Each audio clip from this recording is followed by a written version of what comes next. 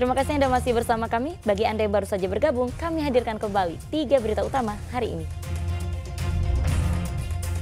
Ulah geng motor di Majalengka membahayakan keselamatan warga.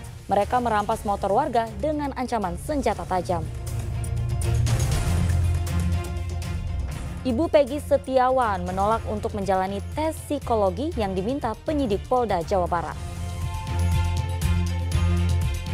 Gara-gara masalah sepele seorang siswi SMP di kota Bekasi dikeroyok temannya lalu disiarkan langsung melalui media sosial.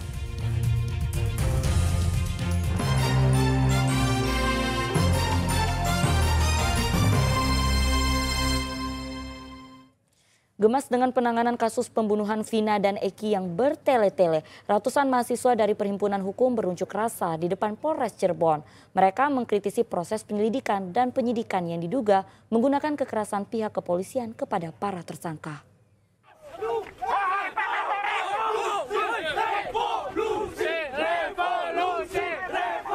Ketegangan terjadi saat ratusan mahasiswa dari Perhimpunan Hukum memaksa masuk ke Mapores Cirebon Kota.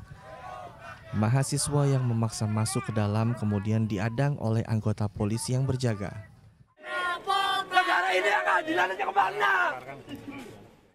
Peristiwa ini terjadi saat mahasiswa meminta keadilan atas penanganan kasus pembunuhan Vina dan Eki di Cirebon pada 2016 silam. Para mahasiswa merasa jengkel karena selama 8 tahun kasus tersebut tak kunjung tuntas. Pengunjuk rasa menilai Penanganan kasus Pina penuh kejanggalan dan diduga ada malpraktik dalam penanganannya. Masa mendesak polisi segera menyelesaikan kasus ini dan meminta pertanggungjawaban penuh Polres Cirebon karena pembunuhan Vina dan Eki terjadi di wilayah hukum mereka. Yang pertama kita juga mengkritik tentang uh, adanya indikasi maladministratif daripada uh, apa proses pemeriksaan terduga pada saat itu. Seharusnya ketika tindakan pidana itu kan yang menangani harusnya reskrim. Kami juga mendapatkan data bahwasannya yang menangani waktu itu saat narkoba. Lihat di media, delapan terduga waktu itu itu kan mimik mukanya itu kan banyak sekali bekas-bekas penyiksaan, pukulan dan lain seterusnya itu juga kan kami juga mengkritisi. Nah, yang juga yang terakhir kami juga menuntut Polres Cirebon Kota untuk bisa bertanggung jawab seluruhnya karena juga bagaimanapun lokus daripada kejadian kasus ini ada di Cirebon. Keresahan pengunjuk rasa dituangkan dalam spanduk dan orasi serta bakar ban di jalan menuju ke Polres Cirebon. Setelah berunjuk rasa selama satu setengah jam, masa membubarkan diri. Jika kasus Vina tak segera tuntas, mereka akan kembali berunjuk rasa dengan jumlah yang lebih banyak.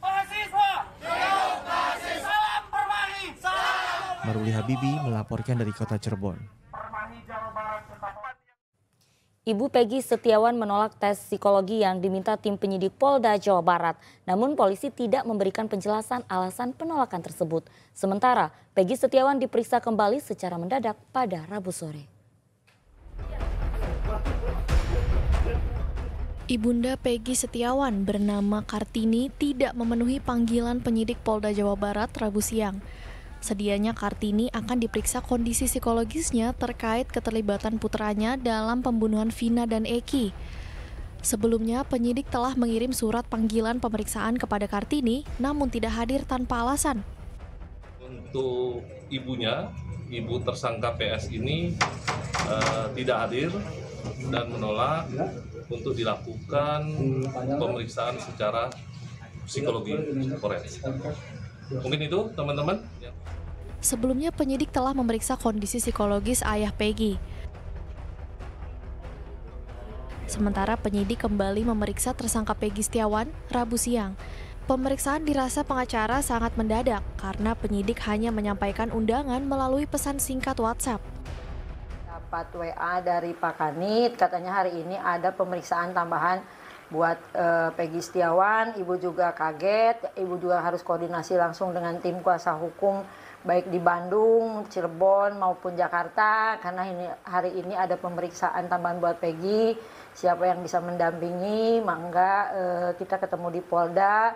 Karena mungkin teman-teman rekan-rekan advokat di Cirebon pun hari ini memang ada jadwal sidang juga. Jadi ibu Sebelumnya Peggy telah menjalani dua kali tes psikologi oleh tim psikolog forensik Polda Jabar. Muhammad Rizal dan Waruli Habibi melaporkan dari Kota Bandung dan Kabupaten Cirebon. Polda Jawa Barat siapkan tim bidang hukum untuk menghadapi gugatan pra-peradilan yang diajukan tim kuasa hukum Peggy Setiawan ke Pengadilan Negeri Bandung.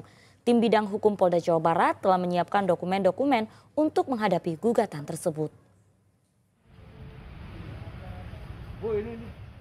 Pada 11 Juni kemarin, tim kuasa hukum Peggy Setiawan tersangka kasus pembunuhan dua sejoli mengajukan pra-peradilan di Pengadilan Negeri Bandung.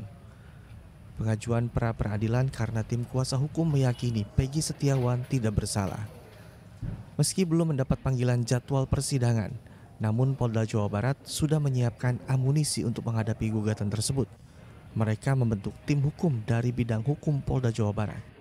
Bapak Kapolda telah memerintahkan ya untuk membentuk tim tim dari uh, Bitkum bidang hukum Polda Jawa Barat Tim ini telah terbentuk dan tentunya untuk menghadapi gugatan pra-peradilan dari uh, tersangka PS ataupun kuasa hukumnya.